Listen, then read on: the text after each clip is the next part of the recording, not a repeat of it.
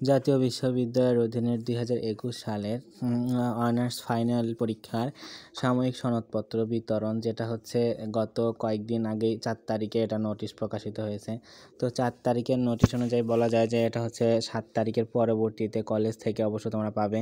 তো সেক্ষেত্রে বলি যে আসলে এটা হচ্ছে যে সাময়িক সনদপত্র। তো সাময়িক সনদপত্র দিয়ে সব ধরনের আবেদন করা যাবে, এটাতে কোনো সমস্যা নাই। এবং হচ্ছে যে কোনো ধরনের তোমাদের আরেকটা কথা বলে রাখি যে মাস্টার্সের মাস্টার্সের অনেক ধরনের তথ্য এর আগে হচ্ছে দেওয়া আছে, সেটা তোমরা দেখে নিবে এবং মাস্টার্সের পরীক্ষা কবে হতে পারে তোমাদের সেটা পরবর্তীতে জানানো হবে এবং মাস্টার্সের রেজিস্ট্রেশন কার্ড কখন রেজিস্ট্রেশন কার্ড ইস্যু হবে সেটাও তোমরা জানতে পারবে তো সেক্ষেত্রে তোমাদের একটা কথা বলে নিই যে পুরা ডিটেলস তোমার মাস্টার্স প্রথম বর্ষ সংক্রান্ত বা হচ্ছে যারা হচ্ছে মাস্টার্সে নতুন অ্যাডমিশন হচ্ছে সব কিছু তোমরা জানতে পারবে তোমরা এটা জানে রাখো যে তোমাদের তোমাদের হচ্ছে সাময়িক সনদ, সেটা হচ্ছে নির্বাচনের পরই তোমরা পাবে। সেক্ষেত্রে তোমাদের আসলে করণীয় কি? কলেজে গিয়ে নির্বাচনে পরে কলেজে গিয়ে সাথে